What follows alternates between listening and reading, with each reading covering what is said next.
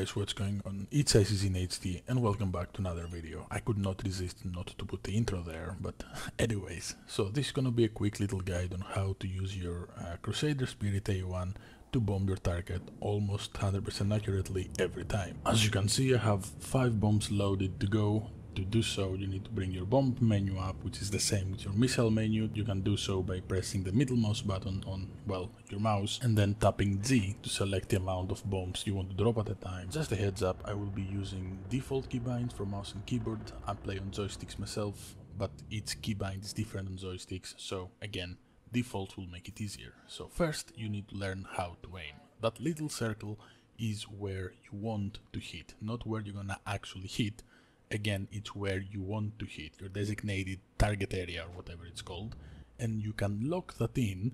You can tell your ship I want to lock there just like you lock on the ship but instead of tapping T you're gonna hold T so you toggle the lock mode on.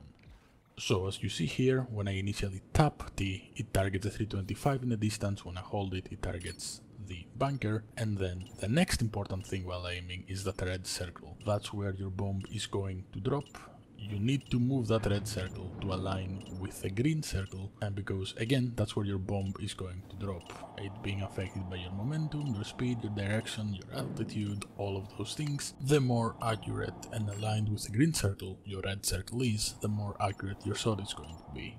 Obviously you're not expected to just slow fly low altitude and spend like 10 seconds aligning the two circles and that takes us to the next step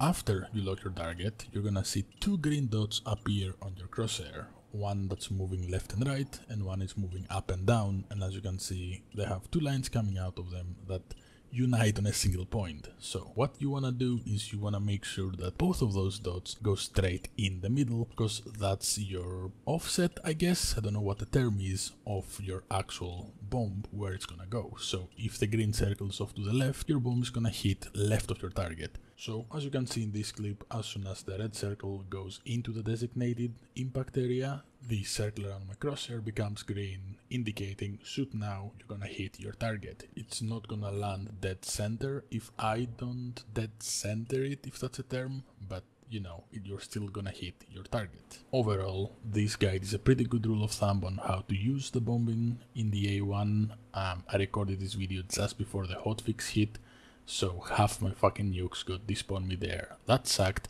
Also I'm having a graphical glitch with the crosshair and the pilot UI of the A1. If I fly into rain, for some reason it gets super blurry, but oh well, that's, you know, early access games for you.